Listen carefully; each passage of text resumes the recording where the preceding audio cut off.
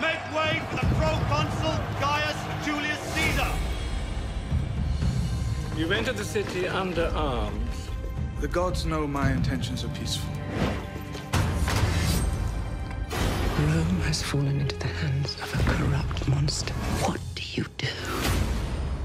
By the spirits of my ancestors, I curse Caesar. The decisive battle begins. Caesar is now surrounded and severely outnumbered. Are you with me?